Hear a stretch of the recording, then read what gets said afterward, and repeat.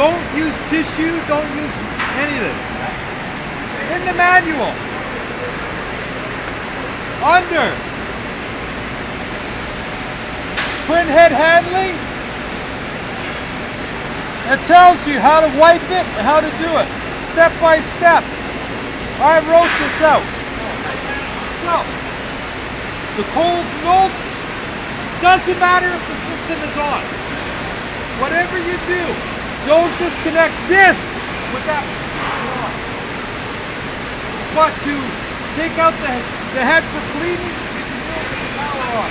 Just don't disconnect the cable, ever, with that power on. Shut down the whole CPU. Now, is there any reason to disconnect this? A lot of times, Most people would tell you to shut the system down before unplugging. When you're when you have your cartridges on your desktop, it always has a button that pushes the cartridge out to the side. You can pull it out. Power there. The lever. Your head. Jiggle it. You're gonna see it comes out. You wet this. You spray with water, distilled water. Grab it.